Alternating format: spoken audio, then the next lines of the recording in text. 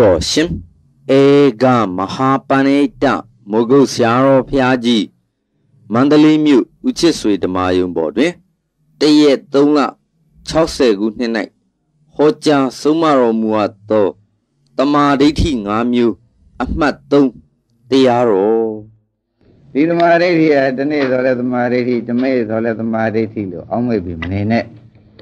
သမာဓိဋ္ဌိက နိဗ္ဗာန်ရောက်တဲ့နေရာဌာနမှာသူမပါမပြီးလို့မှာခေါင်းဆောင်တရားလို့မှတ်ပါသမာဓိဋ္ဌိမပါဘဲနဲ့နိဗ္ဗာန်ရောက်တာမရှိပါဘူးမှန်ပါဘယ်ဘုရားမှလည်းသမာဓိဋ္ဌိမပါဘဲနဲ့ဘုရားမဖြစ်ပါဘူးမှန်ပါဒါကြောင့်သမာဓိဋ္ဌိဟာအရေးကြီးဆုံးပဲဒါကြောင့်သမာဓိဋ္ဌိဒီတရားဓမ္မတို့ဘယ်နှမျိုးရှိကြတယ်တို့၅မျိုးပါ၅မျိုးရှိတယ်ဆိုတော့မှတ်ထားပါနော် ကမ္မတက္ကရာသမာဓိဋ္ဌိဇာနာသမာဓိဋ္ဌိဝိပဿနာသမာဓိဋ္ဌိမဲ့သမာဓိဋ္ဌိတရားဓမ္မတို့ဖို့သမာဓိဋ္ဌိဘယ်နှခုရှိပါလဲငါမျိုးရှိပြီးကြလာနေတော့ဒါသမာဓိဋ္ဌိကြီးပဲသမာကမှန်ကန်တာဒိဋ္ဌိကမြင်တာ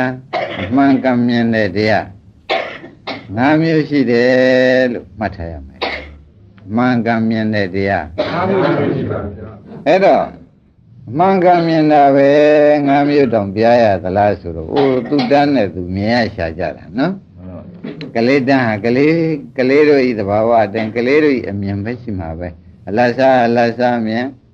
လူရွယ်ရွယ်လူရွယ်ရွယ်အမြင်လူကြီးလူကြီးမြင်ဒီတဲ့ပုပိရိကလာရှင်းမိနောက်မိအမြင်ကရှင်းမိနောက်မိအမြင်လို့ဥပအောင်အမျိုးမျိုးတော့ပြမှာ မှန်ပါဗျာပြရခုလားပြရပါဗျာအဲဒီကမ္မတက္ကဋညာအမြင်ဆိုတော့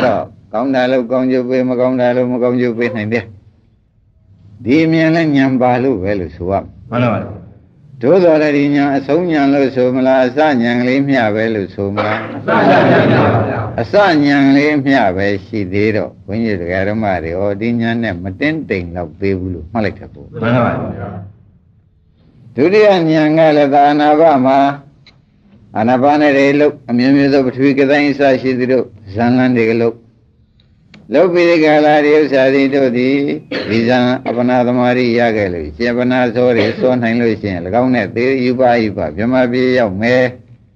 ယူပါဗျယူပါယူပါဗြဟ္မာပြေရောက်မယ်လို့ဒီလောက်တော့လဲသူသိတာပဲဒီသိတာလို့သမာဓိဋ္ဌိပဲမှန်ပါ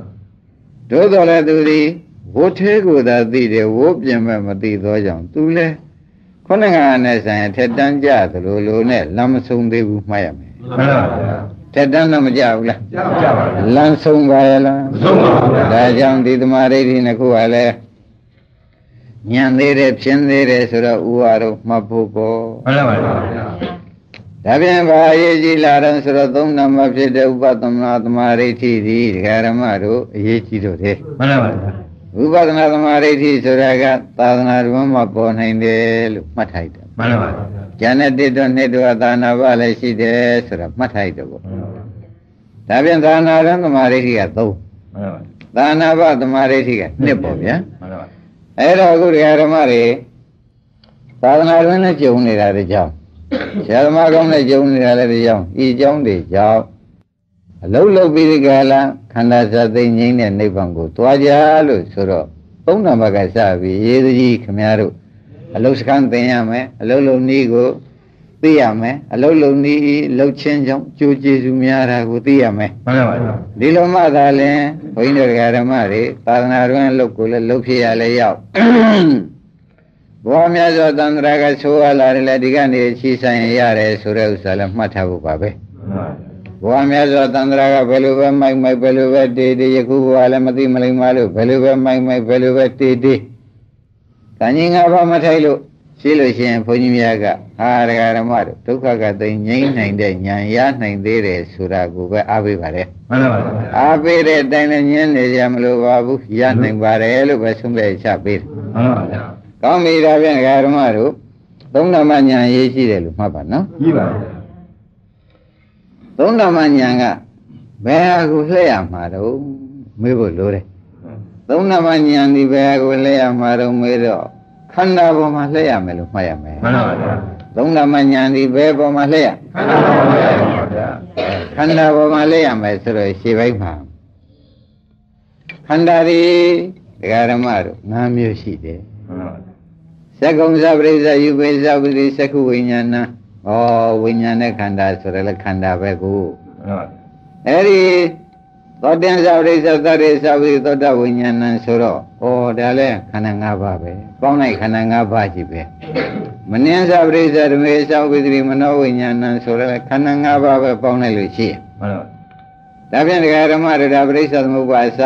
ခန္ဓာရင်ပေါ်တဲ့တရားအစပရိစ္ဆသမုပ္ပါအစလို့မှတ်လိုက်တာပေါ့မှန်ပါဗျာအဲ့ဒီဝိညာဏတ္တဝိညာဉ် ရှိတဲ့နေကမျက်လုံးဝိညာဉ်မျက်လုံးထဲမှာမြင်တဲ့စိတ်နားရင်ကြားတဲ့စိတ်နှာခေါင်းထဲမှာအဲမွေးရကြိုင်တာသိစိတ်ကလေးလျာထဲမှာစားရတောက်တတ်တဲ့စိတ်ကလေးကိုယ်ပေါ်မှာရရန်ကောင်းတဲ့စိတ်ကလေးမနောရန်ကြံစီတွေးတောတဲ့စိတ်ကလေးအဲ့ဒီ6မျိုးကဝိညာဉ်ကြီးလို့မှတ်လိုက်စမ်းပါမှန်ပါဒီကြောင့်မျိုးဒီကားလို့ဆိုရင်ဒကာဓမ္မတို့ကိုအမြဲတမ်းသူတို့6ခုဟာလက်ပတ်ပြီးဒီကာလဖြစ်နေတော့တယ်ဆိုတော့မှတ်ထားလိုက်တော့ ဒါပရိစ္ဆေသမုပ္ပါစပြီးဖြစ်တာပဲသူတို့ကစပြီးဆုံးလဲဆုံးပြီးတဝိညာဉ်ပြီးနောက်တဝိညာဉ်ပြန်စတယ်လို့မှတ်ရမယ်မှန်ပါဗျာကောင်းပြီဒါဖြင့်ဒီဝိညာဉ်ကိုဒကာဓမ္မတွေကသုံးနံပါတ်ဖြစ်တဲ့ဥပဒနာဉာဏ်နဲ့ရှုရလိမ့်မယ်မှန်ပါဗျာသုံးနံပါတ်ဖြစ်တဲ့ဥပဒနာနဲ့ရှုလိုက်တော့အခုဘုန်းကြီးပြောနေတဲ့တရားသံကိုကြားကြပါတယ်မကြားကြဘူးလားရပါဗျာအင်းကြားတာဒီနာရင်သောတဝိညာဉ်ကကြားသည်မှန်ပါဒကာဓမ္မတို့ဘုရားကြားတယ်မှန်ပါဗျာ မြန်မာလိုပြန်လိုက်တော့ကြားစိတ်ကကြားတပည့်ကြမှန်ပါကြားစိတ်ကကြားတယ်ဆိုတာသိတော့ဩဒီဥစ္စာဒီအင်္ဂပါလာတဲ့ကြားစိတ်လည်းမဟုတ်ဘူးထိုင်းသားကကြားစိတ်လည်းမဟုတ်ဘူးအခုအတန်နဲ့ပေါင်းပြီးမှပေါ်လာတဲ့ကြားစိတ်ဆိုရင်ကိုလွဲပါမလွဲပါဘူးဗျာအခုအတန်နဲ့ပေါင်းပြီးမှပေါ်လာတဲ့ကြားစိတ်လို့ဒကာဓမ္မတွေမှိုက်တော့ဩဒါပရိစ္ဆေသမုပ္ပါအစပါလားလို့မှတ်လိုက်တယ်မှန်ပါဗျာအဲ့ဒီအစကိုဒကာဓမ္မတွေသုံးနံပါတ်ဥပဒနာညာနဲ့ အင်းကြားစိတ်ကလေးခုသိရမှာတော့ကြားစိတ်ကိုသိရမယ်ညာနဲ့သေးသေးချာချာကြည့်လိုက်တော့ကြားစိတ်ကလေးကိုရှိမရှိကိုကြည့်လိုက်တဲ့အခါကျတော့မရှိတာပဲသိပါလိမ့်မယ်နော်မှန်ပါဗျာသိတော့ဗာသိမယ်မရှိပါဘူးဗျာမရှိတာပဲသိမယ်လို့သဘောကျအင်းကြားစိတ်သိတာလားမရှိတာသိတယ်မရှိပါဘူးဗျာမရှိတာသိတော့ကိုဒကာဓမ္မတို့ခန္ဓာ ကြားစိတ်ဆိုတာဝိညာဉ်နဲ့ခန္ဓာဒကာဓမ္မတို့သိပြီးသားတိုင်း မှန်ပါဗျာ ကြားစိတ်ကဘာခန္ဓာပါလဲ ဝိညာဉ်ခန္ဓာပါဗျာ ဟောကြားစိတ်ကဝိညာဉ်နဲ့ခန္ဓာဆိုတော့ခန္ဓာကိုသိတာလားမရှိတာသိတာလား မရှိပါဘူးဗျာ ဟောဒါဖြင့်ဒီမှာယနေ့ထူးထူးပြောချင်တာကဥပဝုံတို့မှတ်เสียဒီဥပဒနာရှုတဲ့အခါကျတော့ဥပဒနာဉာဏ်သည်သုံးနံပါတ်ဆိုတဲ့ရှုတဲ့သမာဓိဋ္ဌိသည်အင်းခန္ဓာကို စွန့်ပြီးတဲ့ကာလခန္ဓာကိုလည်းစွန့်တယ်မှန်ပါမမိကြဘူးလားမှန်ပါသူမြင်တာဒီခန္ဓာကိုလည်းစွန့်မှန်ပါဥပါရင်ခန္ဓာသူမြင်တာလားမရှိတာသိတယ်မရှိပါဘူးဗျာမရှိတာဆိုတော့ခန္ဓာဟုတ်သေးရဲ့လားဟုတ်ပါဘူးဗျာငကိုယ်တော့ကတော့သောတာဝိညာဉ်ဆိုတော့ဝိညာဉ်နဲ့ခန္ဓာပေါ့ဗျာမှန်ပါဗျာကုသသုံးနံပါတ်နဲ့နေပြီးဥပဝန္တို့ကကြည့်လိုက်ပါတယ်မှန်ပါကြည့်လိုက်တဲ့အခါကျတော့ခန္ဓာတွေ့သလားအဲမရှိမှုပဲတွေ့သလားမရှိဘူးဗျာ သဘောကျလားရပါဗျာဒီကတစ်တို့ကိုမျက်ရွှေတို့ဘာတွေ့လဲမရှိပါဘူးဗျာအော်မရှိတာတွေ့တယ်ကောင်းပြီဒါဖြင့်ဒကာရမတို့အော်ဥပဒနာညာဤစွန့်ရည်တတ္တိဟာမရှိတာသိတာကိုတပည့်ကြရပါဗျာဥပဒနာညာဤစွန့်ရည်တတ္တိဟာမရှိတာရှိတာပါဗျာမရှိတာသိမရှိတာဒီကလည်းဆက်လို့ရှိရင်ဖြင့်ဘယ်သူမရှိတာတုံးလို့ ဥပအောင်တို့ဥပရင်တို့မေးဖို့မလိုဘူးလားမှန်ပါဗျာခொနကဝိညာဉ်နဲ့ခန္ဓာဗျမှန်ပါကြားတော့ကဘာပေါ်တော့ဝိညာဉ်ခန္ဓာရှိသေးရဲ့လားရှိပါဘူးဒါနဲ့မရှိဘူးလို့သိတာဒီတတ္တိယသမာဓိဋ္ဌိမှန်ပါမရှိဘူးလို့သိတာကအဲ့ဒါကြောင့်ပါလေဒါပြန်ခန္ဓာကိုသိတာလားခန္ဓာမရှိတာသိတာခန္ဓာမရှိတာရှိပါဗျာသေသေးချာချာမှတ်ပါဒကာရမတို့ဩဥပဒနာဉာဏ်ဆိုတာခန္ဓာမရှိတာသိတာကို ရှင်းမလားရှင်းပါလေဥပဒနာဉာဏ်ဆိုတာခန္ဓာမရှိတာရှိပါဗျာဒါတကယ်တော့မှလည်းဒကာရမတွေနှလုံးသွင်းမှုမှမဟုတ်ပါဘူးမသွင်းဘူးပါဘူးဘယ်နဲ့ဖြစ်နေတော့ဒီဆရာဘုန်းကြီးနဲ့တွေ့မှာဥပဒနာရှိရတာဥပဒနာရှိရတာဘာကိုရှိရတာတုံးဆိုတော့ခန္ဓာမရှိတာသိအောင်လုပ်ရတယ်လို့ကဥပဒနာလို့မှန်ပါဥပါရင်တို့ဘာလုပ်ပါလဲခန္ဓာမရှိတာရှိပါဗျာခန္ဓာမရှိတာသိအောင်လုပ်ရတယ်အလုပ် ငကောရဒီခန္ဓာနားထဲမှာကြာစိတ်ကလေးဝိညာဉ်နဲ့ခန္ဓာတော့မပေါ်ဘူးလားပေါ်ပါဗျာလူနဲ့တွေ့တဲ့ဝေဒနာခန္ဓာသင်္ညာခန္ဓာလည်းပေါ်တော့ဗျာပေါ်ပါဗျာတို့တို့ဘာတွေပဲပေါ်ခြင်းတာပေါ်၅ပါးစလုံးပဲပေါ်ပေါ်ပေါ်တာ၅ပါးပါပဲထားပါတော့ကြည့်လိုက်တဲ့အခါကျဒီ၅ပါးတွေ့သလားမရှိတာတွေ့သလားမရှိတာပါဗျာဩဒါဖြင့်ဒကာဓမ္မတို့သုံးနံပါတ်သမာဓိဋ္ဌိဒီ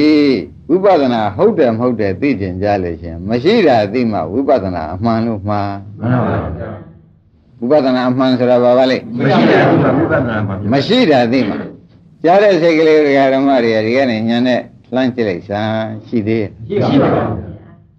ဘယ်သူမရှိတာတုံးဆိုလို့ရှိရင်ဖြင့်ဘယ်နဲ့ဖြေကြမရှိတော့ကဲခန္ဓာလို့ပြောလိုက်စမ်းပါဆိုတော့ဝိညာဉ်ကမရှိတာကဲဝိညာဉ်နဲ့ခန္ဓာနဲ့မကပါဘူးဗျာသူနဲ့တွဲတဲ့ဝေဒနာတို့သင်ညာတို့ရောဝိညာဉ်စိတ်တို့ရောရှိရလားရှိပါဗျာဒါဖြင့်ခန္ဓာအကုန်မရှိဘူးမှန်ပါ သဘောကျလားမှန်ပါဘာသိပါလဲခန္ဓာကိုယ်ရှိပါဗျာခန္ဓာမရှိတာသိမှန်ပါဥပအောင်တဲ့ဥစ္စာသေချာမှတ်စမ်းဥစ္စာရင်တော့သေချာမှတ်စမ်းဥပါရင်သေချာမှတ်ပါဝိပဿနာရှိတာဆိုတာဒကာဓမ္မတွေသေချာလေးစားစွာနဲ့မှတ်လို့ရှိရင်ဖြင့်ခန္ဓာမရှိတာသိအောင်လုပ်တယ်လုပ်ပါဝိပဿနာလုပ်မှန်ပါဗျာရှင်းမလားရှိပါဗျာဝိပဿနာရှုဆိုတာဘာသိအောင်လုပ်ရတာဗါလေခန္ဓာမရှိတာ ခင်ဗျားတို့ပြောနေတာကတော့အနိစ္စသိဖို့လုံနေတာပဲဒုက္ခသိဖို့လုံနေတာပဲအနတ္တသိဖို့လုံနေတာပဲဆိုတာဒါရိုးရစကားပါမှန်ပါဗျာသူပါအောင်ဒါရိုးရစကားမှန်ပါဗျာတကယ်အစ်စ်ကတော့ဘုန်းကြီးပြောတဲ့ဒိဗေကမှာအစ်စ်အမှန်လို့မှတ်ကြမှန်ပါဗျာဘယ်နဲ့ကြောင့်လို့ဆိုတော့နားထဲမှာခန္ဓာ၅ပါးပေါ်ရမှန်ပါအတန်နဲ့ဘုန်းကြီးတန်က ဗုဒ္ဓံလို့ပြောလိုက်တော့ဒကာဓမ္မတွေကဗုဒ္ဓံလို့ကြားတဲ့ဝိညာဉ်နဲ့ခန္ဓာတို့ဝေဒနာခန္ဓာတို့ပေါ်ဘူးလို့ပေါ်ကြဟုတ်ပါဗျာအဲ့ဒါလေးကိုဒကာဓမ္မတွေသုံးနာမှာဖြစ်တဲ့ဥပဒနာသမာဓိဋ္ဌိနဲ့ရှုလိုက်စမ်းပါလို့ဘုန်းကြီးကပြောလိုက်တယ်ရှုလိုက်တဲ့အခါကျတော့ရှိသေးရဲ့ရှိပါဗျာဘာမရှိတာတော့မဲလိုက်ခန္ဓာမရှိတာဗျာဩခန္ဓာမရှိတာသိတာဥပဒနာညာမှန်ပါဗျာ ဥပအောင်ပါတယ်တော့ခန္ဓာမရှိတာဝိပဿနာမှာအေးဒီနေ့ကစပြီသေချာရေးလေဖတ်ကြစမ်းပါဒကာဓမ္မတို့ခန္ဓာမရှိတာသိတဲ့ဉာဏ်သည်ဝိပဿနာသမာဓိဋ္ဌိခန္ဓာမရှိတာကိုသိတဲ့သမာဓိဋ္ဌိသည်ဝိပဿနာမှာရှိပါဗျာအဲဝိပဿနာသမာဓိဋ္ဌိဆိုတာခန္ဓာမရှိတာသိသိတဲ့တရားဒါမနေ့ကပြောတဲ့ဦးဒီနေ့ထူးထည့်ပေးတယ်မှန်ပါဗျာသဘောပါလားပါပါဗျာဝိပဿနာရှိဆိုတာဘာပါလဲခန္ဓာမရှိတာဗျာ ခန္ဓာမရှိတာသိတဲ့အလုံးရှင်းပြီနော်ရှင်းပါဗျာဝိပဿနာဆိုတာဘာပါလဲခန္ဓာမရှိတာဗျာဩနေရာကြိုက်တယ်ဥပအောင်နေရာကြိုက်တယ်ဥပဒေတော့နေရာကြိုက်ပြီရပါဘာဖြစ်လို့နေရာကျတယ်လို့ဆရာဘုန်းကြီးကဒီလောက်တော့ချီးမွမ်းပြီးဒီကလာဘုန်းကြီးတို့တရားဓမ္မတွေမွန်းတင်ပြီးပြောပါလိမ့်မလို့လို့မေးတဲ့အခါကျတော့ခန္ဓာလိုချင်လို့ရတာခ န္ဓာကြီးကလောကကြီးတဲ့တရားဓမ္မတို့မလိုချင်မနဲ့ရထားတဲ့ခန္ဓာများရှိကြရဲ့ရှိပါဗျာမလိုချင်မနဲ့ရထားတဲ့ခန္ဓာမရှိဘူးလိုချင်လို့ရထားတာမှန်ပါဗျာအဲ့ဒီခန္ဓာရနေတဲ့ကာလပေါလုံးနဲ့ခန္ဓာနဲ့နိဗ္ဗာန်နဲ့ဟာကလည်းဒုက္ခသစ္စာနဲ့និရောဓသစ္စာဆိုတော့မိုးနဲ့မြေကြီးကနီးသေးတယ်မှန်ပါဗျာသူတို့ကကအမှန်ဝေးဝိပဿနာမဝေးဘူးလားဝိပဿနာအဲ့ဒီလိုဝေးတာတွေသိထားတော့မှဩခန္ဓာမရှိတာသိမှုသိမှသာလဲနိဗ္ဗာန်နဲ့နေတော့မယ်မှန်ပါဗျာ ခန္ဓာမရှိတာသိမှနိဗ္ဗာန်ရှိပါဗျာဩဒါဖြင့်ဒကာဓမ္မတို့သုံးနံပါတ်ဥပဒနာဉာဏ်သည်ဥပဒနာသမာဓိဋ္ဌိဘာကိုသိသလဲခန္ဓာမရှိတာဗျာခန္ဓာမရှိတာသိမှန်ပါဗျာသိနေကြတော့ပြီဒကာဓမ္မတို့ဥပဒနာရှိတာဒီဘယ်ကျိုးငှာရှိတယ်တော့ခန္ဓာမရှိတာဗျာခန္ဓာမရှိတာသိအောင်ရှုခိုင်းမှန်ပါသဘောပါပြီနော်မှန်ပါဗျာခန္ဓာမရှိတာကိုသိအောင်ပြောပါဗျာ ဘဒုခန္ဓာတုံးလို့ဆက်ပြီးမေးလိုက်တော့မှဘယ်လိုဖြေကြပါ့မိမိခန္ဓာငါကမိမိခန္ဓာထင်းနေတယ်မှန်ပါဗျာမိမိခန္ဓာထင်းနေတယ်ငါကြားပါတယ်ငါစိတ်နဲ့ကငါငါကိုကြားပါတယ်ဆိုပြီးစိတ်ကိုငါလည်းဆွဲလိုက်သေးတယ်မှန်ပါဗျာတကယ်လည်းဒီခန္ဓာကိုလည်းငါကိုယ်ရင်ကြားပါတယ်လို့ပြောလိုက်တဲ့အခါကျတော့ရှင်ခန္ဓာ၅ပါးတကယ်လည်းတကယ်ဓမ္မတွေဒီကိုယ့်ကိုယ်ကိုယ်ကလည်းလှုပ်ထားတဲ့အကြောင်းဒီခန္ဓာ၅ပါးကကြားနေတယ်ပဲ တကယ်ပဲထင်လိုက်တာပဲမှန်ပါဗျာကောင်းပြီဒါဖြင့်ဒကာဓမ္မတို့ခန္ဓာ၅ပါးကြားတယ်ဆိုတာတော့ပြန်သဘောတော့ကြပါပြီမှန်လဲမှန်ပါတယ်တဲ့သို့သောဥပဒနာသမာဓိရှိနဲ့ကြည့်လိုက်တော့ကြားတဲ့ခန္ဓာ၅ပါးရှိမရှိမရှိပါဘူးဗျာကြားတဲ့ခန္ဓာ၅ပါးမရှိပါဘူးဗျာကြားတဲ့ခန္ဓာ၅ပါးမရှိဘူးလို့သိလိုက်တာဩမိမိတို့ဤသိမှုကိုမိမိတို့သိတာပဲမိမိတို့ရထားတဲ့ခန္ဓာဤပျက်စီးမှုကို မိမိတို့သိတာပဲသဘောကျမှန်ပါမိမိတို့ရထားတဲ့ခန္ဓာ၅ပါးဤပျက်စီးမှုကိုမိမိပြပါဗျာဩဥပအောင်ရေသိပ်ဖို့တန်သွားတမ်းပါဗျာသိပ်ဖို့တန်သွားပြီဒကာဓမ္မတို့ဩဥပဒနာသမာဓိဋ္ဌိဟာတင်းနေရကြပါလားမိမိတို့တသံတရားလုံးဆွဲလာတဲ့ခန္ဓာကြီးဒီခန္ဓာကြီးနဲ့ကွဲမှလည်းနိဗ္ဗာန်ကနီးတာမှန်ပါအခုတော့ဒီခန္ဓာကြီးမရှိတာကိုသိရတဲ့အတွက်အဲခန္ဓာနဲ့ဖြင့် ခန္ဓာမရှိတာသိရပြီဆိုတာဒီဥပဒနာသမာဓိဋ္ဌိဖြစ်လာပြီမှန်ပါဝိပဿနာသမာဓိဋ္ဌိဖြစ်လာကြတဲ့ကိုကဒကာဓမ္မတို့ခန္ဓာမရှိတာကိုသိတော့ကိုနိဗ္ဗာန်ဟာခန္ဓာမရှိဘူးမှန်ပါအခုလည်းခန္ဓာမရှိတာတော့သူသိလာပြီမှန်ပါဒါဖြင့်ဒီအတိတာရှည်သွားလို့ရှိရင်ဖြင့်နိဗ္ဗာန်ကကတ်နေပြီမှန်ပါဒီအတိတာရှည်ရင်နိဗ္ဗာန်ကပါဗျာနိဗ္ဗာန်ကတ်နေပြီလို့ဆုံးဖြတ်ချက်ချစမ်းပါမှန်ပါ နာကြီးကြီးနဲ့ထုံကြနော်ဘယ်နဲ့မိတ်ရှိပါလဲနာကြီးကြီးနဲ့ထောင်ပါဆိုတော့ဥပအောင်ဒါ6ပြောတာလည်းမဟုတ်ဘူးနော်မှန်ပါဗျာ6ပြောတာလည်းမဟုတ်ဘူးတရားဓမ္မတွေတသက်နဲ့တကူတသံတရားနဲ့တဏှာဆိုသလိုအခုကြားရတာမှန်ပါဗျာတသံတရားနဲ့တဏှာဆိုသလိုကြားရတော့ခန္ဓာမရှိတာကိုသိအောင်ရှုတာဒီဝိပဿနာသမာဓိဋ္ဌိမှန်ပါဒါဖြင့် နိဗ္ဗာန်ခန္ဓာရှိမရှိမရှိပါဘူးခန္ဓာရှိရင်နိဗ္ဗာန်ဒုက္ခသစ္စာဖြစ်အောင်မှာပေါ့မှန်ပါဗျာအဲ့တော့ခန္ဓာမရှိတာ तू သိစပြုလာပြီမှန်ပါဘယ်လိုဆိုကြမလဲခန္ဓာမရှိတာဗျာအဲခန္ဓာမရှိတာသူသိတာပြုလာပြီဆိုတော့ဥပါရင်ရဲ့နိဗ္ဗာန်နဲ့နီးသလားဝေးသလားဒီပါဗျာနီးလာပြီဒါကြောင့်ဒကာဓမ္မတို့ဝိပဿနာဉာဏ်သည်နိဗ္ဗာန်ကိုမြင်တဲ့မဲ့ဉာဏ်နဲ့အနည်းဆုံးဟိတန်ရုပ်တေခရာဆရာပြောတာဟာသေချာကြိုက်တယ် မှန်ပါဗျာဝိပဿနာဉာဏ်သည်နိဗ္ဗာန်အနည်းဆုံးပဲမဲ့ဉာဏ်နဲ့အနည်းဆုံးပဲမဲ့ဉာဏ်ကနိဗ္ဗာန်မြင်တာဟုတ်ဗျမှန်ပါအဲဥပဒနာဉာဏ်သည်ဘယ်ဉာဏ်နဲ့နီးတော့မဲ့ဉာဏ်နဲ့နီးတယ်ဆိုတဲ့ကမဲ့ဉာဏ်ကဘာကိုမြင်လဲနိဗ္ဗာန်ပါဗျာဝိပဿနာဉာဏ်ကဘာမြင်လဲမဲ့ကြမယ်ဟဲရမ်းလို့မရဘူးဝိပဿနာဉာဏ်ကဘာမြင်ခန္ဓာမရှိတာမြင်ရဝိပဿနာဉာဏ်ကဘာမြင်ခန္ဓာမရှိတာဗျာ သူနောက်ကလာမဉာဏ်ကတော့ဒါဖြင့်တရားဓမ္မတို့ဝိပဿနာဉာဏ်ကလည်းတစိတ်တရေသသူနိဗ္ဗာန်မြင်တယ်မှန်ပါခန္ဓာမရှိတာပဲသူမြင်တယ်မှန်ပါဟောနိဗ္ဗာန်ဆိုတာလည်းမဉာဏ်ကလည်းခန္ဓာမရှိတာပဲမှန်ပါနိဗ္ဗာန်ကလည်းခန္ဓာမရှိတာဝိပဿနာဉာဏ်ကလည်းခန္ဓာမရှိတာအဲ့တော့ဟိုကအမြင်မရှိတာကိုမြင်တာနဲ့သူကခဏမရှိတာကိုမြင်တာဒါတော့တင်ချမ်းသာတော့တယ်လို့မှတ်ပါမှန်ပါတော်တော့ကိုနိဗ္ဗာန်နဲ့နှီးသွားပြီဒီပါ ဒကာဓမ္မတွေအားမလျှော့ပါနဲ့ဒီဥစ္စာလေးစားစွာနဲ့သာမှတ်ပြီတော့ မှန်ပါ ဝိပဿနာတို့ရှုမေးနိဗ္ဗာန်နဲ့အနည်းလေးကြံတော့ဟာဆိုပြီးအားခဲပြီးသားရှုပါလို့သတိပေးလိုက်ပါတယ် မှန်ပါ ဥပအောင်ရိပ်မိဗလား ဒီပါ ကဲတစ်ခေါက်ပြန်ပြောပါဦးဒီဥစ္စာရေးကြည့်လို့နော်ရေးကြည့်လို့တဲ့အထိတ်ဉာဏ်တွေကိုအကုန်ပြောမှာပဲပြောရင်ပြော냐တယ်ဥပဒနာဉာဏ်မှာဥပါရင်ပြောเสียမကုန်သေးလို့ထပ်ထပ်လာတာ မှန်ပါဗျာ ကဲဒကာဓမ္မတို့ဥပဒနာဉာဏ်ကဘယ်ဟာကိုမြင်တယ်လို့ကောင်းပြီ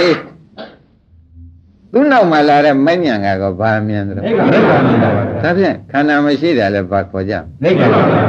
နိဗ္ဗာန်ပဲအဲဥပဒနာကခဏနိဗ္ဗာန်ကိုသာမြင်တယ်မှန်ပါမဉ္ဇဏ်ကအမြဲနိဗ္ဗာန်ကိုမြင်တယ်ဆိုတော့ဩသူတို့နှစ်ခုဟာအမှန်တန်နိကပ်ပါလားဆိုတဲ့အဓိပ္ပာယ်ရှင်းတယ် မှန်ပါမနိကပ်ဘူးလားနိဗ္ဗာန်ပါဗျာနိကပ်တယ်လို့သေချာမှတ်ပါဒကာဓမ္မတို့ဥပဒနာဉာဏ်မပါဘဲနဲ့မဉ္ဇဏ်မပေါ်နိုင်ဘူးဆိုရတဲ့သေချာတယ်မဟုတ်လားနိဗ္ဗာန်ပါဗျာကောင်းပြီဒါပြန်ဥပဒနာဉာဏ်တရားဓမ္မတို့ဘယ်ဟာကိုမြင်သလဲခန္ဓာမရှိတာပါဗျာကဲမနောက်လာမယ်မဉဏ်ဟာဟောနိဗ္ဗာန်ပါဗျာနိဗ္ဗာန်ဆိုတာဘာပါလိမ့်ခန္ဓာမရှိတာအဲနိဗ္ဗာန်ဆိုတာလည်းခန္ဓာမရှိတာဥပဒနာဉာဏ်ကလည်းခန္ဓာမရှိတာမမြင်မြင်တာပဲမှန်ပါ ထိုကဲ့သို့မြင်မှုဘာထုပါလိမ့်မလို့ဆိုအိုးခဏမရှိတာလဲခဏနိဗ္ဗာန်မှန်ပါအမြင်မရှိတာကအမြင်နိဗ္ဗာန်ဒါလေးပဲကြွာချတော့တယ်မှန်ပါဒါပြန်ဥပဒနာဉာဏ်ရတဲ့ပုဂ္ဂိုလ်ဖြင့်ဘုန်းကြီးတို့တရားဓမ္မတွေသေပြောဟိတာသုံးဖြတ်ချက်ချာမှန်ပါဗျာ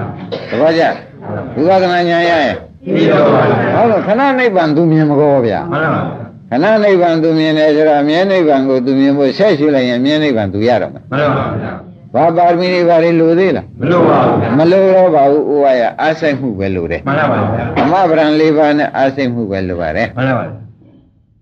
ကိုင်းဒါဖြင့်ဒါကမြင်ပုံတော့ဖြင့်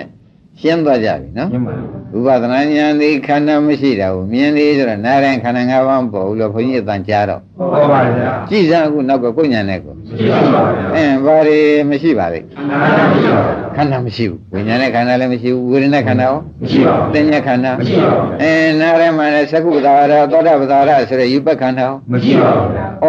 ဒါမြင်ဥပဒနာညာမှာခန္ဓာမရှိတာကိုမြင်တယ်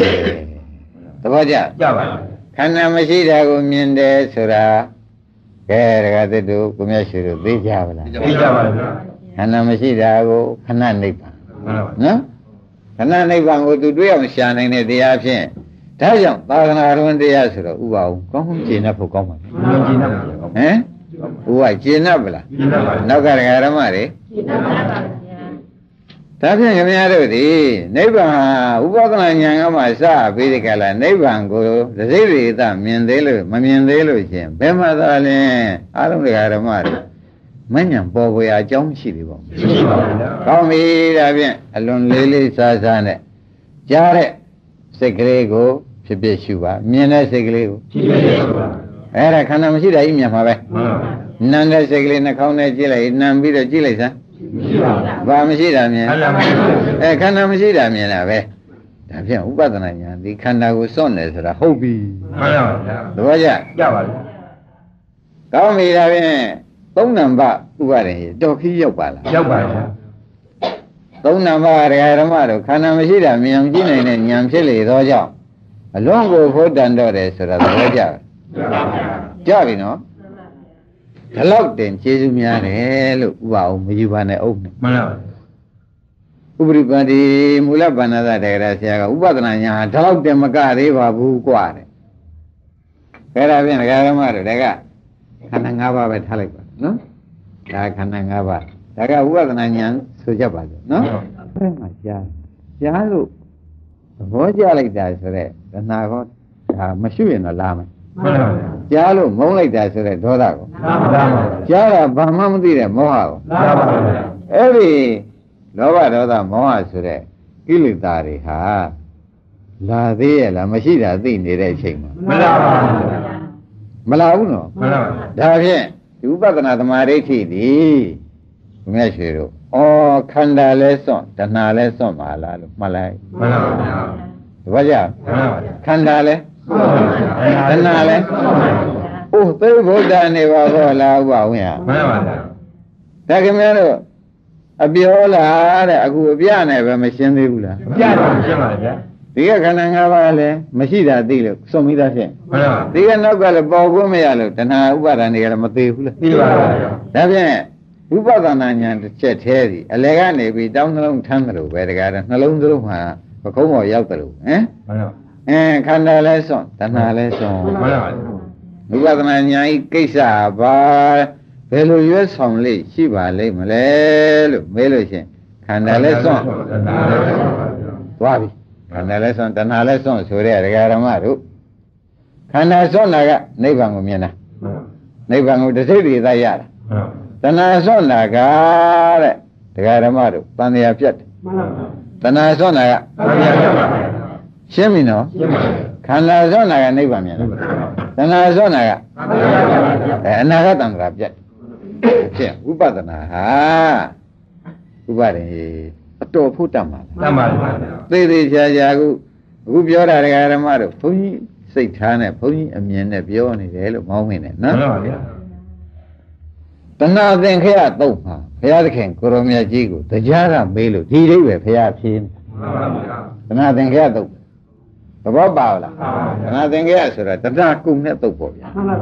အဲ့ဒီမှာသေချာဟောလို့ဘုန်းကြီးရဲ့ဒီဥစ္စာသုံးဥပဒနာသမာဓိဋ္ဌိကဤမြလောက်ကျေးဇူးများတယ်ဆိုတဲ့ဥစ္စာကိုအဲ့ဒီကယူပြီးဒီကလာဥပအောင်ပြောနေတာမှန်ပါဗျာရှင်းမလားရှင်းပါဗျာဒါပြန်ဥပဒနာဉာဏ်လောက်တဲ့ပုဂ္ဂိုလ်များသည်ခန္ဓာစွန့်ခြင်းကြောင့်လဲနိဗ္ဗာန်တွေ့ရတယ်မှန်ပါဗျာ။တဏှာစွန့်ခြင်းကြောင့်လဲသံဃာပြတ်တယ်။တပည့်ကြကြောက် မယုံရင်ဒီဘက်ကခန္ဓာ၅ပါးရှိကြားတဲ့ခန္ဓာ၅ပါးနားတဲ့ခန္ဓာ၅ပါးရှုချီမြင်သေးရဲ့မြင်ပါဘူး။ခတိုင်းခန္ဓာမရှိတာ तू မသိဘူးလားသိပါဗျာ။ခန္ဓာမရှိတာ तू သိတာဒီဒါပြန်ဥပဒနာဉာဏ်ဒီခန္ဓာကိုလဲစွန့်ပါတယ်မှန်ပါ။ဟုတ်လားမှန်ပါ။တဏှာလည်းမစွန့်ဘူးလားဆိုတော့ဆုံးပါ အင်းခေါင်းကဟာမရှိတာမရှိမိလို့ရှင်မင်းကြားလို့ကောင်းတယ်စားလို့ကောင်းတယ်လားမယ်တမ်းပါပါဗျာမလားပဲဘူးလားမှန်ပါပါအခုတော့လာသေးရလားမှန်ပါပါအဲဥပဒနာဉာဏ်ကအလေကနေပြီးဒီကလာဒကာဓမ္မတို့ခန္ဓာလဲစွန့်တဏှာလဲစွန့်စွန့်ရည်တတ္တိရှိတယ်တရားဖြစ်လေသောကြောင့်အလွန်ဖို့တန်တော့သည်လို့သုံးဖြတ်ချက်ချပါမှန်ပါပါဗျာ သိက္ကံကောင်းတဲ့ဒကာဓမ္မတွေပဲအော်ဥပဒနာလောက်တာကုသိုလ်ရတယ်လို့ခင်ဗျားတို့ကအောက်မေ့တယ်မဟုတ်ပါဘူးဗျာကုသိုလ်ရတာဘယ်ကုသိုလ်လေးတော့ဖြင့်ခွန်ကြီးဟောကုန်ဟောဘူးမှန်ပါပါဗျာသဘောကျရပါပြီကုသိုလ်ရတာမဟုတ်ပါဘူးတရားဓမ္မတွေနိဗ္ဗာန်မြင်တယ်သန္တရာပြတ်တယ်လို့အောက်မဲ့လိုက်စမ်းပါမှန်ပါပါဗျာဥပအောင်ဘယ်လိုမှတ်နိဗ္ဗာန်မြင်တာပါဗျာ ဒါကုသိုလ်တွေခင်ဗျားတို့ကသမင်ညကုသိုလ်တွေသူ့သွင်းလို့တော်ပါမတော်ပါဘူးမတော်ပါဘူးတဲ့သမင်ညကုသိုလ်နဲ့ကိုမြရွှေတိုင်းနဲ့ချမ်းသာနေမချမ်းသာဘူးလားကိုရှုလိုက်တဲ့ခန္ဓာ၅ပါးပဲနဲ့နေတော့မရှိတော့သဆုံးမိသားမကြဘူးအဲနောက်ကတဏှာရောလာသေးရဲ့ဟောဒါဥပဒနာဉာဏ်သည်ခန္ဓာလဲဆုံးတဏှာလဲဆုံးအကျိုးပြောစမ်းပါဆိုတော့နိဗ္ဗာန်လက္ခဏာမြင်တယ်ဟုတ်လား။ဒါနောက်တံ္ဍရာကြီးလည်းဖြတ်တယ် နောက်တံ္ဍရာဥဝိနာဝိသေဝိတွေအကုန်ဖြတ်ချလိုက်တမ်းပါသဘောပါပါပါဒါဖြင့်တစ်ချက်သေးရှုတာဟာခင်ဗျားတို့အလွန်ကျေးဇူးများတယ်ဆိုတာပေါ်လာပါလားဟုတ်ပါဗျာတစ်ချက်သေးဒီလိုသာမြင်လိုက်လို့ရှိရင်ဖြင့်တဲ့ဒကာသေးတို့ကိုမြတ်ရွှေတို့ဘလောက်တပြည့်ကုသိုလ်တွေတဲ့စာပေါင်းထောင်သုံးသိမ့်သမကပါတယ်လို့ဘုရားဟောတာဟောတဲ့ ဟောတယ်ပါဗျာဟောတယ်မလားဟောတယ်ပါဗျာခဏနိဗ္ဗာန်လည်းသူမမြင်ရဘူးလားဗျာမမြင်ပါဘူးအဲသံဃာပြကတာလည်းမသေးကြဘူးလားသိပါပါဗျာဘယ်တဏှာမမလားပဲနဲ့ပဲဥပါဒံကံတိလာကြလို့သေးလားလို့ပါဗျာအဲဒါကြောင့်အကျဉ်းချုပ်မှတ်ထားစမ်းပါဥပဒနာရှုတဲ့ပုဂ္ဂိုလ်များမှာနိဗ္ဗာန်မြင်၍သံဃာပြတ်တယ်ကုသိုလ်ရရုံနဲ့မကပါဘူးနိဗ္ဗာန်မြင်၍သံဃာပြတ်ဩနိဗ္ဗာန်လည်းမြင်သေးတယ်သံဃာလည်းပြတ်သေးတယ်ဆိုတော့ဖြင့် သံဃာပြတ်တယ်ဆိုတော့ဒုက္ခသစ္စာပြတ်တယ်မှန်ပါဘူးနိဗ္ဗာန်မြင်တယ်ဆိုတော့ချမ်းသာတာကိုယ်တွေ့ဖြစ်ရတယ်မှန်ပါဘူးနိဗ္ဗာန်မြင်တာကသံဃာရာကိုယ်တွေ့ဖြစ်ရပါတယ်သံဃာပြတ်တယ်ဆိုတော့ဆင်းရဲဟူတွေ့ကိုယ်နဲ့ဥစားကွဲပါတယ်မှန်ပါဘူးသဘောပါကြမှန်ပါဘူးဟိုသိနေရကြပါလားဥပါယမှန်ပါဗျာဝိပဿနာဉာဏ်ဤတကူဟာခါတိုင်းတလောက်ပေါ်မပြောဘူးအခုပေါ်ပြောလိုက်တဲ့အခါကျတော့မှဥပါဝင်သိရှင်းသွားပြီရှင်းပါပြီ ဒါပြန်ဥပဒနာဉာဏ်ဤဘာဘာစွန့်လဲဒါကသူစွန့်ပုံပြတယ်နော်။အကျိုးရှိပုံပြကြမှာဆိုတော့ဥပဒနာဉာဏ်ဤခဏနိဗ္ဗာန်ကိုလည်းမြင်တယ်။သန္တရာလည်းသန္တရာလည်းဖြတ်တယ်။သဘောကျခဏနိဗ္ဗာန်လည်းမြင်တယ်ရှင်းပါဗျာသန္တရာလည်းဖြတ်တယ်ဒီဘက်သန္တရာလာသေးရဲ့မှန်ပါဗျာဩဒါဖြင့်ဒကာရမတို့ဝိပဿနာ၏အကျိုးဟာရတ္တမေရတ္တဖို့တိုင်အောင်ရောက်နိုင်ပါတယ်လို့ အင်္ဂုတ္တဒကာကနေတိုင်းပြောနေတဲ့ဥစ္စာလဲအားလုံးတောင်းခံရတော့မှာပဲမှန်ပါသန္တရာပြတ်တာကိုမှန်ပါဗျာသန္တရာလည်းပြတ်တယ်နိဗ္ဗာန်လည်းမြင်နိုင်တယ်ခဏခဏနိဗ္ဗာန်လည်းမြင်နိုင်ပါတယ်ဆိုသဖြင့်တယ်လည်းဖို့တံပါလားဆိုတာဒကာရမတွေပေါ်လာတယ်နော်မှန်ပါဗျာရှင်းမလားရှင်းပါဒါဘာညာပါလေအဲဥပဒနာညာဆိုခြင်းဆိုဝိပဿနာသမာဓိဋ္ဌိဆိုခြင်းဆိုမှန်ပါဗျာအကုန်အမှန်ကြီးပဲလို့သုံးပြချစမ်းပါမှန်ပါ ရှင်းကြ ရှင်းပါ ခိုင်းဒီတစ်ခေါက်ပြောပြီးရင်မဉ္ဇဉ်ကူးကြရအောင်ကဲဒီဥစ္စာဥပဒနာညာဒကာရမတို့ရှုလိုက်တဲ့အခါကျတော့ရှင်းဖြင့်မရှိခန္ဓာရိပ်မရှိတာကို तू မသိဘူးလား သိပါဗျာ ခန္ဓာရိပ်မရှိတာကို तू သိဖြစ်လေသောကြောင့်ခန္ဓာကိုလည်း तू စွန့်ပါတယ် မှန်ပါ ခန္ဓာမရှိတာနိဗ္ဗာန်လို့လည်းဘုရားကဟောလေသောကြောင့်ခဏနိဗ္ဗာန်လည်း तू မြင်တယ် မှန်ပါဗျာ သဘောကျလား ကြောက်ပါ ခန္ဓာလည်းစွန့်ပါတယ်ကိလေသာကို ဆုံးပါဗျာ နောက်ကကိလေသာကိုလာခွင့်ရသေးလားမရပါဘူးတဏှာဥပါဒံကံနေလေမရပါဘူးငမလာတော့ဘူးဒါဖြင့်လေဓမ္မတို့ဥပဒနာဉာဏ်သည်ခန္ဓာစွန့်တဏှာစွန့်စွန့်နိုင်တာနှမျိုးကိုစွန့်ချိုက်မှန်ပါဗျာကောင်းပြီဒါဖြင့်အကျိုးပြောစမ်းပါဆိုတော့ခဏနိဗ္ဗာန်လည်းမြင်တယ်သံဃာလည်းပြတ်တယ်မှန်ပါဗျာခဏနိဗ္ဗာန်လည်းမြင်ပါဗျာသံဃာရောသံဃာလည်းပြတ်တယ်ဆိုတော့ခင်ဗျားတို့ဟို လုတ်တဲ့လုတ်ထိုက်လုတ်ကောင်းတဲ့အလုပ်ကိုတို့ဟာမသိလို့မလုပ်ဖဲနေတာပဲမဆိုရဘူးလားဆွဲပါဗျာတန်ရရဲ့ရှိတာဒီဖြင့်လမ်းများလမ်းမှာရဲ့တရားတွေဘာတွေဟောတော့ဘယ်နဲ့တော့ဘုရားတောင်အစမမြင်ဘူးဆိုထားတာပဲဟိုကြောက်တော့လေကြောက်ဥပဒနာတော့မလုပ်ဘူးမလုပ်လို့ရှိရင်သံဃာပြတ်ပါမပြပါဗျာသံဃာပြတ်ခြင်းလို့ဘုရားကခဏနိဗ္ဗာန်မြင်ခဏပြတ်တာပဲအမြဲနိဗ္ဗာန်မြင်အမြဲပြတ်တာပဲ သဘောကျရပါဗျာကောင်းပြီဒါရင်ဥပဒနာသမာဓိဋ္ဌိဒကာဓမ္မတို့ကောင်းကောင်းကြည်납လားရပါဗျာဒါရင်ဥပဒနာသမာဓိဋ္ဌိပြီးတော့လေးနံပါတ်ကဘာသမာဓိဋ္ဌိတဲ့ဘယ်မှာဒီပါဗျာမက်သမာဓိဋ္ဌိတဲ့မက်သမာဓိဋ္ဌိမက်သမာဓိဋ္ဌိပြောတော့မယ်ဒကာဓမ္မတို့လေးနံပါတ်ရောက်လာပြီဥပဒနာရှိလို့ခொနဲ့ခန္ဓာစွန့်တဏှာစွန့်တာတွေများပြီများပြီများပြီဆိုတော့ အဲဥပဒနာတွေအသားတွေတက်လာပြီဉာဏ်တွေကရင့်ရင့်ရင့်ရင့်ပြီးဒီကလာဥရိယပိယပင်ကဗျာအရိနုနိဗ္ဗိန္ဒတွေစရှိနေသူဟာသူတက်လာပြီဆိုကြပါစို့မှန်ပါတက်လာတဲ့အခါကျလို့ရှိရင်ဖြင့်တဲ့မဉ္ဇဉ်ဖြစ်ဖို့ရအကြောင်းကနိကမလားဘူးဒီကပါဗျာနိကပိဒီကလာလာတာလေဘုန်းကြီးကနိကပေးလို့လည်းမရဘူးမှန်ပါဗျာခရားကနိကပေးလို့လည်းမရဘူးခင်ဗျားတို့ကမလို့ရှူရင်ရှူရင်နဲ့ဘုံမညံထက်လာရမှာပဲမှန်ပါဗျာ ရှူရင်ရှူရင်နဲ့ဘုရားကျန်တဲ့ဘုံမပြီးညံထက်လာရမှာပဲလို့ဒကာဓမ္မတွေမှတ်ပါဘ누구ကဘယ်ညံရောက်ပြီဆိုမှတွေးစားပြောတာမှန်တာမဟုတ်ဘူးဒီဥစ္စာစာမှာကြည့်ပြောတာသဘောကျလားအဲ့ဒါမှန်တယ်လို့များသွားမယူနဲ့ဆရာကမင်းဘယ်ညံရောက်မင်းမင်းညံရောက်မင်းကဘုံညံရောက်နေပြီမင်းကအဲတန်ခါရုပ္ပခဏညံရောက်နေမဟုတ်ဘူးသူပြောတာမဟုတ်ဘူးကိုညံ ကိုကိုမသိနိုင်တယ်ဟိုဟာရိယာဖြင့်သိနိုင်တယ်ဟိုဟာရိယာမဟုတ်ဘဲနဲ့ဘုရုရှင်ကသာဆိုမှန်ပြောတာသာမှတ်ပြီတော့မှန်ပါဗျာမှန်ပြောတာမှန်ပြောတာမှန်နော်ပါဗျာကောင်းပြီဒါဖြင့်ဒကာဓမ္မတို့မဉ္ဇဉ်ပြောကြပါစို့စာလာတဲ့တိုင်နော်မဉ္ဇဉ်ကတော့ဒကာဓမ္မတို့ဖြားဆိုဥပဒနာဉာဏ်နေနဲ့ရှုပြီးဒီကာလခန္ဓာအစဉ်ကြီးဟာအရင်တော့ဖြင့်ပြောက်လိုက် အဲပြောက်လိုက်ရှုလိုက်လို့ပြောက်သွားလိုက်ခန္ဓာဆုံးသွားလိုက်အဲနောက်တစ်ခါခန္ဓာတစ်ခုပေါ်လာပြန်ဆုံးသွားလိုက်အဲဥပဒနာဉာဏ်ကတော့ခန္ဓာတို့ရဲ့အဆုံးအဆုံးကြီးမြင်မနေဘူးလားမြင်ပါဗျာ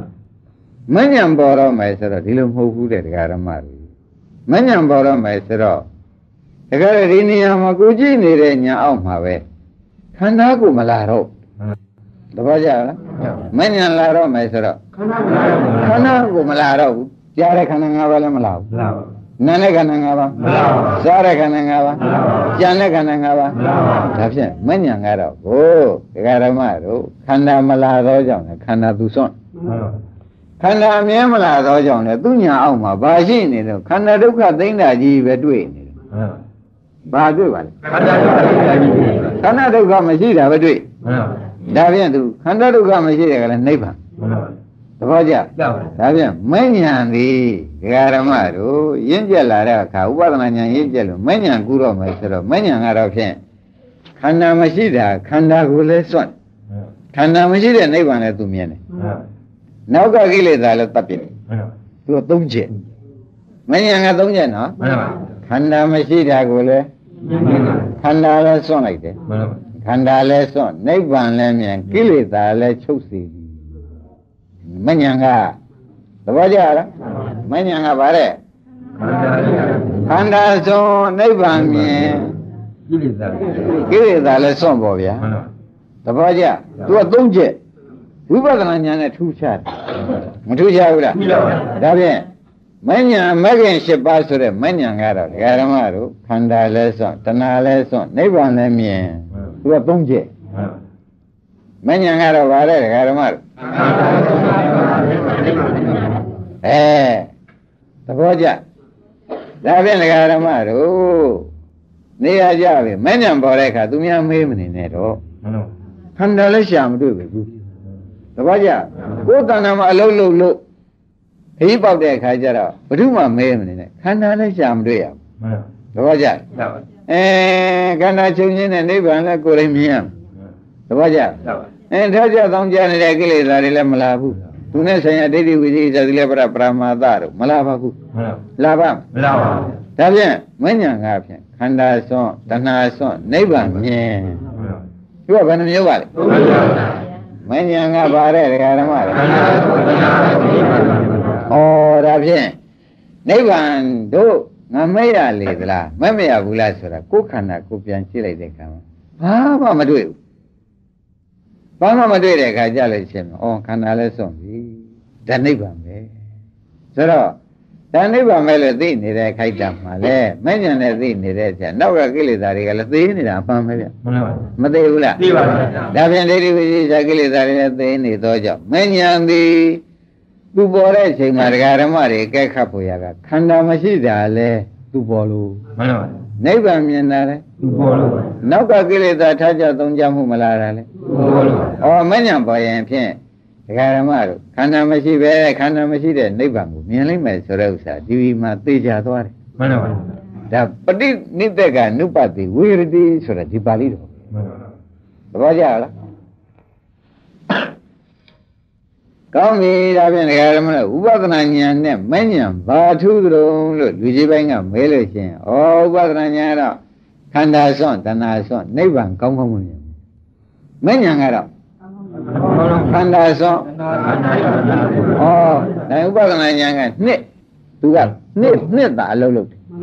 မဉဏ်ကသုံးဖို့အလုပ်လုပ်ရှင်းမလားဥပဒနာဉာဏ်ကနှစ်သာလို့ခန္ဓာစွန့်တဏှာစွန့်မှန်ပါ သဘောကျမညံပေါ်လာတဲ့အချိန်ကျတော့ခန္ဓာလည်းစွန့်တယ်နိဗ္ဗာန်လည်းမြင်တယ်ဆိုတော့ခင်ဗျားတို့ဥပဒနာရှုလို့တခါတည်းဖြစ်ဖြစ်တွေကရှုပြီးဒီကလာနေတိုင်းနေတိုင်းရှုရှုရှုရှုပြီးနေတော့ကြာတော့ခန္ဓာပြောက်ထွက်ခန္ဓာပြောက်ထွက်သွားခန္ဓာပြောက်ထွက်သွားတာဘာပါလိမ့်မလို့လို့မေးမနေနဲ့ဒါမညံပေါ်လာတာခန္ဓာစွန့်လိုက်ပြီသ ဘောကျမှန်ပါခန္ဓာဆွန့်လိုက်ပြီတဲ့နောက်ကတဏှာလည်းဆွန့်ပြီပြီနင်ဘာမှမတွေ့တော့ပါလားဆိုတော့အိုးဘာမှမတွေ့တာမဟုတ်ဘူးနော်ဒီနေရာမှာဒုက္ခချုပ်တာဒါပဲလို့သိတာဘာမှမတွေ့တာမဟုတ်ပါဘူးမှန်ပါတပည့်ကြဘာပါလဲဒုက္ခချုပ်တာဒါပဲလို့သိရှင်းမလားဒုက္ခချုပ်တာဒါပဲဆိုတာနိဗ္ဗာန်ကိုတွေ့တာရှင်းမလားဘာတွေ့တာဒါဖြင့် ဝိပဿနာဉာဏ်ကနှစ်တာအလုံးလုံးနေဝိပဿနာသမာဓိဋ္ဌိကမတ်သမာဓိက၃ဖြစ်အောင်၃ကိစ္စအလုပ်လုပ်နိုင်တယ်။မဲဥပဒနာသမာဓိက2ကိစ္စသာအလုပ်လုပ်နိုင်တယ်။မတ်သမာဓိကရှင်းပြီနော်။ဩဒါဖြင့်တော်တော်အရေးကြီးပါလားဥပဒနာမဲ့နဲ့အဲသောတပတိဥပဒနာမဲ့နဲ့လောကုတ္တရာမဲ့သည်ဥပအောင်တော်ချမ်းသာပါလားချမ်းသာပါ။မချမ်းသာဘူးလားချမ်းသာပါ။အဲ့တော့ကို ကိုဥပဒနာဉာဏ်လုံနေတဲ့ပုဂ္ဂိုလ်လေဒါဥပဒနာဉာဏ်လုံနေသေးတယ်ဆိုတာကိုလည်းအခုဘယ်သူမှမဲမနေနဲ့ဒီတိုင်းနေမှာပဲဖြစ်ပြမြင်ပြီးကြလာကိလေသာဆွန့်နေမှာပဲမဲ့တော်ကမဲ့ဉာဏ်ရောက်တော့မယ်ဆိုတော့လည်းဖြစ်ပြလည်းမမြင်တော့ဘူးကိလေသာလည်းဆွန့်ပြီးဒီကလာခန္ဓာမရှိတာကိုပဲသူမြင်နေမှာပဲသဘောကျဒါဖြင့်ဥပဒနာဉာဏ်ကဘယ်နှကိစ္စလုံးလုပ်တယ်မဲ့ဉာဏ်က ဒါဘယ်တော့မှမမေ့နဲ့ဒါဆရာရှားမနေနဲ့တော့ဒီဥစ္စာသေသေးချာချာဘုရားဟောထားပြီသေချာချာဟောထားပြီတဲ့ဒကာဓမ္မတို့ကဲဥကလုတ်တတ်ပလားလုံးကြပါဥပအောင်လုတ်တတ်ပလားကဲသူဝဒနာညာနဲ့မညာနဲ့ခွဲတောင်ပြလိုက်ပေါ့ဗျာရှိတာကလည်းခင်ဗျားတို့ဘာမှမရှိဘူးဥပဒနာလုံးလုံးမဲ့ပုဂ္ဂိုလ်မှာဥပဒနာညာနဲ့မညာမရှိတယ်မှန်ပါဒီပြင်အရိယတော့ကို ကြားတဲ့ညာတွေကတော့ဒကာဓမ္မတွေထင်နာမြင်နာမှတ်တမ်းတို့တာပဲရှိတာပဲမှန်ပါစင်စစ်တဲ့ဒီပြင်ညာတွေကဥပဒနာညာကြီးပဲမှန်ပါသဘောကျကြပါအပြက်ကလေးမြင်တော့ဘင်ကညာလောက်တာနှုတ်ပါပေါင်းခေါ်တော့ဥပဒနာညာခေါ်ပါမှန်ပါသင်္ဃာရုပ္ပကညာဆိုတော့လေးလေးရှိတယ်အပြက်လေးလေးရှိတာပဲနိကခေါ်တော့ဘယ်ညာနဲ့သုံးဥပဒနာညာနဲ့သုံးရမှာပဲဒါကြောင့်ဘုရားကပြန်ဥပဒနာညာနဲ့မညာဒါပဲဟောတော့မှန်ပါရှင်းမလားရှင်းပါပြီဒါဖြင့်ဒကာဓမ္မတို့ ဝိပဿနာဉာဏ်ကစလုပ်လို့ရှင်းဖြစ်မဲ့ဉာဏ်မရောက်ဖဲရှိပါရောက်ပါဘာလို့လဲဆိုတော့နှစ်နဲ့သုံးပဲကွာတဲ့ကိစ္စမှန်ပါဝိပဿနာဉာဏ်ကနှစ်ကိစ္စလုပ်လို့မှန်ပါမဉာဏ်ကသုံးကိစ္စအဲ့ဒါနှစ်ကသုံးခုရာကြတော့ကိုကိုမျက်ရှိတို့တကတစ်တို့အလွယ်ပဲမှန်ပါလုံးဝမလုပ်တဲ့လူအတွက်တော့ရောက်လိမ့်မယ်လို့ခင်ဗျားတို့အယူမရှိနဲ့နော်မှန်ပါ သဘောပါကြဗလားပါပါဗျာကောင်းပြီအမှန်တန်ဖို့တန်တော့ပြီတဲ့ဒါဖြင့်ဒကာဓမ္မတို့အမာရိဋ္ဌိဘယ်နှမျိုးပြီးသွားပြီဆိုတာဥပအောင်ပတ်တန်းတင်ပြီးပြီလားဘယ်နှမျိုးပြီးသွားညီတို့ပြီးတော့လေးမျိုးပြီးသွားပြီဒကာဓမ္မတို့လေးမျိုးပြီးသွားပြီဒါဖြင့်ဒကာဓမ္မတို့ဖို့သမာရိဋ္ဌိကိုပြောကြစို့ဖို့သမာရိဋ္ဌိဆိုတာမရှိဘူးလားကြည့်ပါဗျာကဲဖို့သမာရိဋ္ဌိကိုလက်ကင်ထားကြစို့ ဝိပဿနာသမာရိဋ္ဌိကလည်းပြီးသွားပြီမတ်သမာရိဋ္ဌိကလည်းကြည့်ပါဗျာဖို့သမာရိဋ္ဌိပဲကျန်တော့တယ်ဖို့သမာရိဋ္ဌိကျန်တော့တယ်ဆိုတော့ဖို့ဒီကားလို့ဆိုလို့ရှိရင်ဒကာဓမ္မတို့မဲ့နောက်ကကပ်ပြီးလိုက်တဲ့ဖို့ရှိတယ်ဖို့ကနှမျိုးမှန်ပါမဲ့နောက်ကအခုမဲ့ညာနောက်ကလိုက်ကပ်ပြီးလိုက်တဲ့ဖို့ကတစ်မျိုးဝိပဿနာညာနောက်ကလိုက်တဲ့ဖို့ကတစ်မျိုး ဖိုးပဲနှမျိုးရှိပါနှမျိုးပါဗျာဒါသေးချာမှတ်တော့မှဖိုးဆိုရင်တစ်မျိုးတည်းမှတ်တယ်လွယ်ကုန်နေမယ်မှန်ပါပါနော်ဝိပဿနာဉာဏ်နဲ့မဉဏ်နောက်ကကလိုက်တဲ့ဖိုးကတစ်မျိုးရှင်းမလားမှန်ပါဝိပဿနာဉာဏ်နောက်ကလိုက်လာတဲ့ဖိုးကတစ်မျိုးဖိုးပဲတစ်မျိုးပါနှမျိုးပါဗျာဒါသေးချာမှတ်ပါအောင်ဒါသေးချာမှတ်ပါအောင်ဖိုးဉာဏ်ကိုကနှစ်မျိုးရှိနေတယ်ဆိုတာမှတ်ထားရတယ်မှန်ပါဒါကတော့ဘုန်းကြီးကဟောကြံလို့ဟောတာမဟုတ်ပါဘူးတရားဓမ္မတို့ခင်ဗျားတို့မဲ့ဉာဏ်ရပြီရင်ဖိုးဟာအလိုလိုလိုက်တာပါပဲ အကာလီကောဆိုတာဒါဟုဆိုတာမှန်ပါအကာလီကောခမင်းကျုပ်ပေးဆိုတော့မဲ့ဉာဏ်လည်းရလို့ရှိရင်ဖိုးရပါလေတဲ့ခင်ဗျားတို့ဆုမတောင်းနဲ့သူ့ဟာသူလာတာပဲမှန်ပါဓမ္မနိယမလို့မှတ်ထိုက်တာပေါ့မှန်ပါဓမ္မနိယမဆိုတာကတရားဓမ္မတို့မဲ့ဉာဏ်ဤသောအကြောင်းအားထုတ်ထားလို့ရှိရင်ဖြင့်ဖိုးဉာဏ်ဤသောအကျိုးကတော့ဥပအောင်မလာပါနဲ့ဆိုလို့ရပါပါလာရမှာပဲသဘောကျကြပါတားလို့ရှိလို့ဘုရားလာတာမရဘူးမှန်ပါမန္တကြီးလာတာကိုမရပါဘူးမရပါဘူးတဲ့သူတို့က ဘယ်နဲ့တရားဓမ္မတို့မက္ကအနန္တရပစ္စည်းဖိုကအနန္တရပစ္စည်းပြစ္ဆုတ်ပံတတိမက္ကကံနာနကနိယကာမပစ္စည်းဖိုကပြစ္ဆုတ်ပံဆိုတော့သိချာနေမှန်ပါဗျာကံနဲ့အကျိုးပေးပဲတဲ့တရားဓမ္မတို့မက္ကမက္ကစေနာကံလားဗျာမှန်ပါဖိုကအကျိုးပေးဆိုတော့ဘယ်ကနေတာပဲမက်ပြီးဖိုပဲသဘောကျဒါဖြင့် ဘုံညာနေတရားဓမ္မတို့ဘယ်နှမျိုးရှိပါလဲနှမျိုးပါဗျာမဲ့နောက်ကကပ်ပေးလိုက်တဲ့ဖိုတစ်မျိုးနှမျိုးပါဝိပဿနာဉာဏ်နောက်ကကပ်လိုက်တဲ့ဖိုကတစ်မျိုးသဘောကျပါရလားပါဘုံညာဘယ်နှမျိုးရှိပါနှမျိုးပါဗျာအဲတဏတနည်းကပါပါလိမ့်ဝိပဿနာမညာနဲ့ပဲမဲ့ညာနောက်ကလိုက်လာတဲ့ဘုံညာတစ်မျိုး ဝိပဿနာဉာဏ်နောက်ကလိုက်လာတဲ့ဘုံညာတစ်မျိုးသေချာမှတ်ပါသေချာမှတ်ပါဒါကဘုဒ္ဓတအတွေ့ညာဟောတာ စင်စစ်ခင်ဗျားတို့ကျင့်တဲ့အခါကျတော့သူ့ကိုထူးရဖို့အထောက်ရတာမဟုတ်တော့ကြောင့်ဘုဒ္ဓတအတွက်သာဟောတာလို့မှတ်လိုက်ရမှာ မှန်ပါ ဘုရားအောင်ဘယ်ကျုံးကဟောတာ ဘုရားဗျာ အဲဘုဒ္ဓတဆိုတာဘုန်းကြီးများလည်းဘုဒ္ဓတပဲပေးမှာပဲတဲ့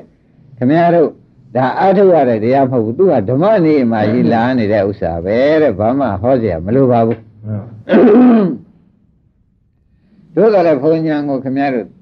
သိစေခြင်းလို့ရှိရင်သိစေခြင်းတဲ့သဘောလေးရှိလို့ဘုန်းကြီးကပြောပါတယ်။ဂိုင်းတရားဓမ္မတို့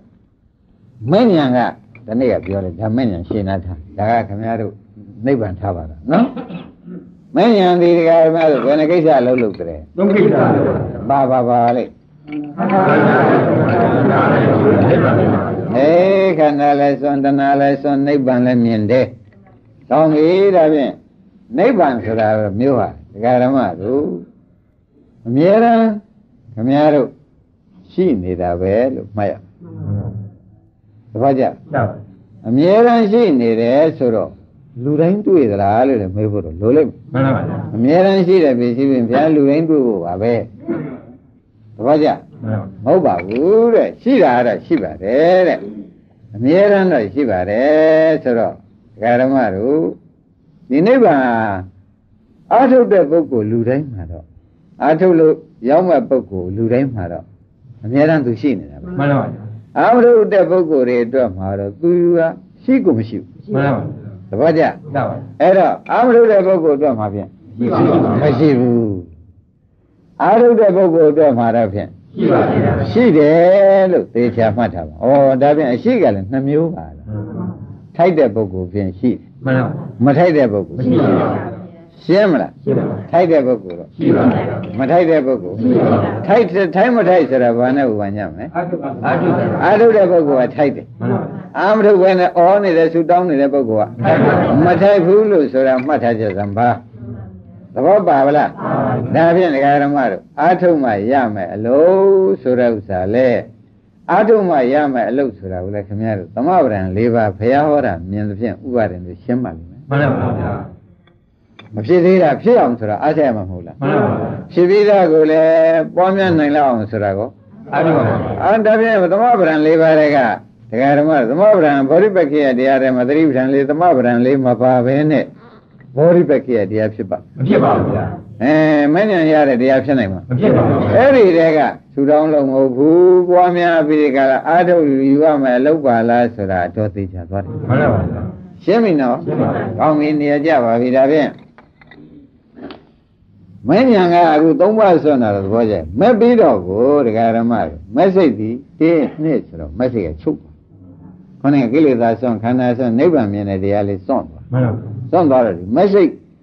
စွန့်လိုက်ပြီးဒီကလာမက်စိတ်ချုပ်သွားပြီ မှန်ပါမက်စိတ်ကလည်းတရားဓမ္မတို့ဥပဒနာရှိတဲ့စိတ်လို့ပေါ့မှန်ပါ